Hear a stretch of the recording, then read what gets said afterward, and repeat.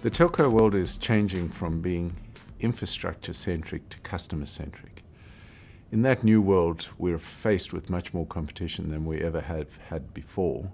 And at the same time, there are many more new opportunities to deliver values, value to customers.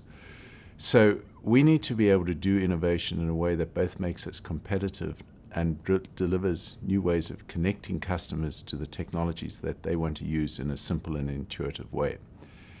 Um, to do that, we have to be entrepreneurial. And being entrepreneurial means that we actually not only have to do new things, but we have to do them in a new way.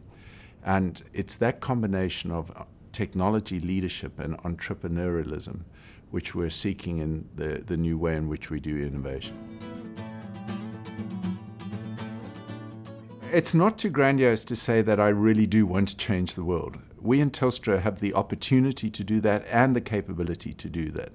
This is a once in a lifetime opportunity to go out and change the way Australians live, to change the way we work, to change the way we play, to make our companies more productive, to make Australia the best place to live in, um, to make our health system the most efficient in the world.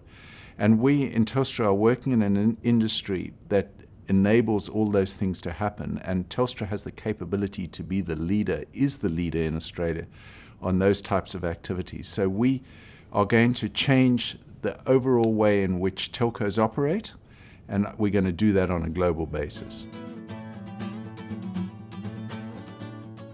In an infrastructure centric world, we're really only competed with other local players in a customer-centric world, we're competing on a global basis, that, which means that really in order to be competitive in this new world of innovation that we're pursuing and the new services that Telstra will be delivering, we have to compete with global players and that literally means we have to be the best in the world.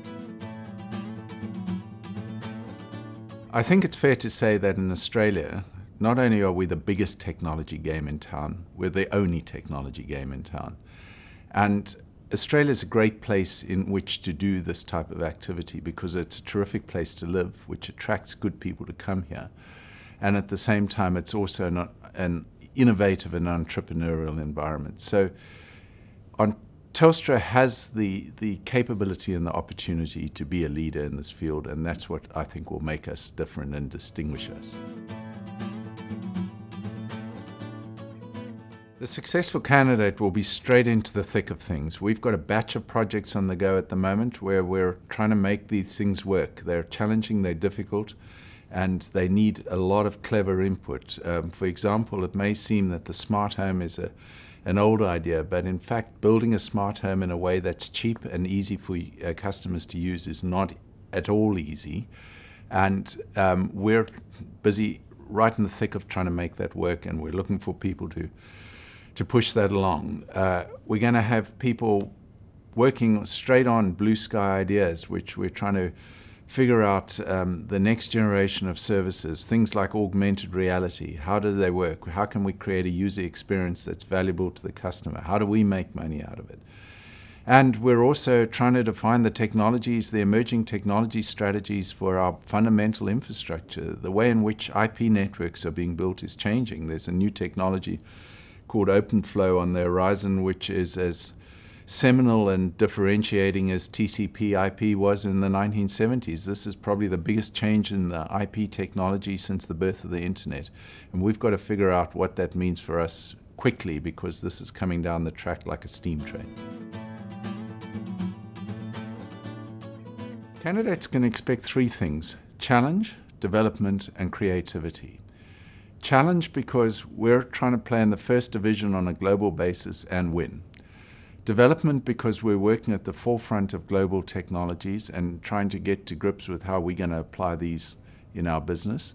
And creativity because we're trying to make new opportunities work here. We're, trying to be entrepreneurial and creative and innovative, and that will certainly stretch people's creative abilities.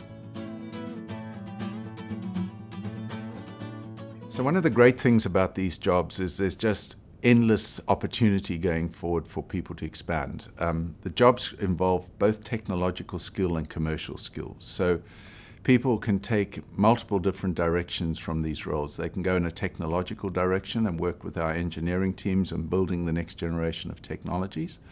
They can go into our commercial teams and build the next generation of products. They could even go into our marketing areas and envisage the types of products that people will want in the future.